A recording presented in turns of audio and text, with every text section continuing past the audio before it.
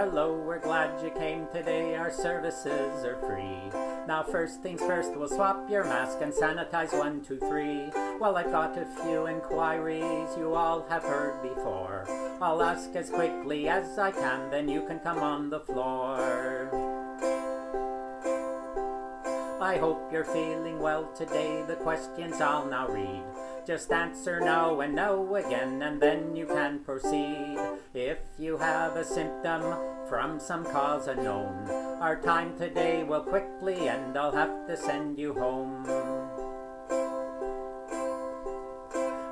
Chills, and barking cough shall be banished from our sight. Decrease or loss of smell or taste is not at all alright.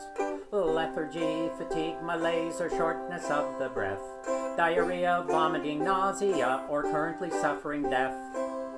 Have you traveled outside Canada, been told to stay at home? Identified as a close contact, had an alert on your cell phone. Tested positive on a home based test, if no is all you can say. Congrats, hurrah, and yippee, we'll vaccinate you today.